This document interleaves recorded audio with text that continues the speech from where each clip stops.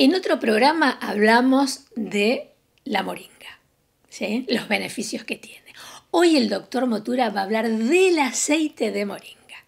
Mujeres, escuchen porque nos beneficia muchísimo. El doctor Motura.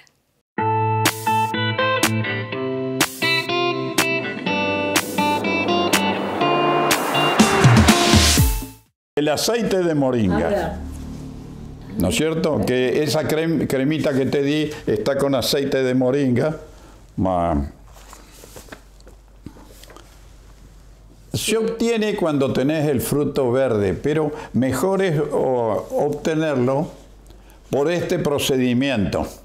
Dígame. La lixiviación es la forma que nosotros lo estamos porque yo he conseguido, como yo estoy en Buenos Aires mucho, he conseguido gente que tiene los aparatos de lisiviación y me, me pudieron fabricar aceite de moringa.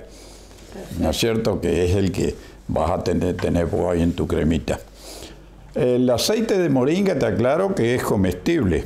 Tiene más propiedades que el de oliva y nunca se enrancia. Tiene por este procedimiento que nosotros lo estamos haciendo. Ah. La lisiviación. La lisiviación, ¿sabe qué viene a ser?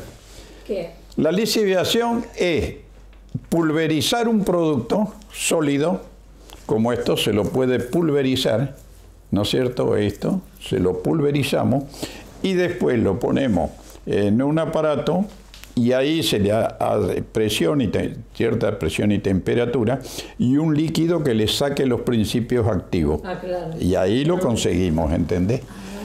Diciendo en una forma grosera, cuando tomamos mate hacemos una lixiviación.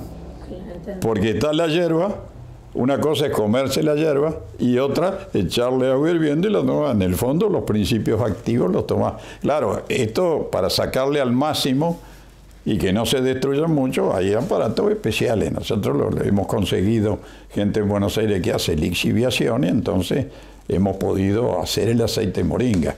Me costó bastante, no, no es tan fácil. Este, repone el colágeno para la piel, para el cabello. El aceite de moringa te reduce los efectos del envejecimiento. Dice, alivia las quemaduras, picaduras, erupciones, elimina granos y espinillas.